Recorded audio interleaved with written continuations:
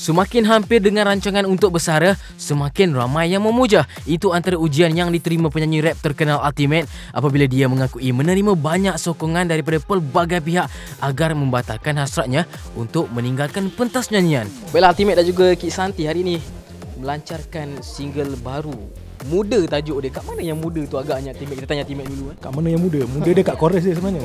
Oh, itu je. ha, dia cerita dia menceritakan perjalanan hidup seorang melalui beberapa peringkat dan setiap peringkat tu ada definisi muda dia sebenarnya. Okay, Santi, sebentar tadi Ultimate telah ditanya kenapa memilih you? Kenapa Ultimate tidak memilih artis-artis yang dah well established orang kata? Dan jawapan Ultimate ialah dia tidak memilih populariti tetapi bakat.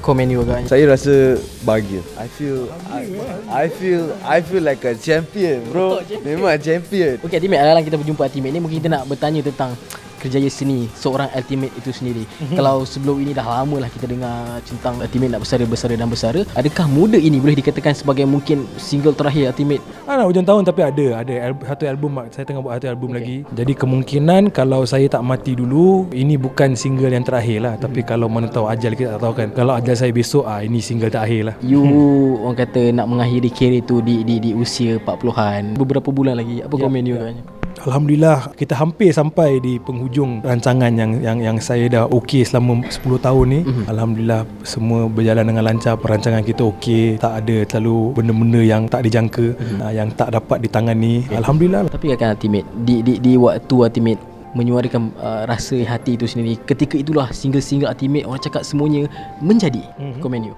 Adakah ini, uh, ini mungkin ujian? Alhamdulillah. Ini satu ujian daripada Allah Subhanahu Wa Taala. Saya sangat berterima kasih uh, dengan ujian ni. Saya rasa Allah sedang cuba untuk menguji ego saya kan? Sebab time ni lah semua orang belai semua orang membeli kata-kata pujian. Kalau sebelum ni tak cakap apa-apa ataupun bagi nasihat jangan jangan jadi penyanyi. Kerana dia kata jangan bersara lah bagus lah. Jadi ni satu ujian. Saya rasa dia takkan uji saya kalau dia rasa saya tak boleh tangani ujian ini. Jadi you terbuai atau tidak dengan ujian yang diberikan ni? Saya selalu ingat objektif saya. Because bila kita cerita pasal bersara atau atau bertukar bertukar kerjaya orang rasa tu satu garisan penamat. Tapi hmm. untuk saya tu tu satu garis permulaan garisan permulaan untuk benda yang baru. Jadi saya sangat teruja untuk memulakan uh, benda baru ni selepas ni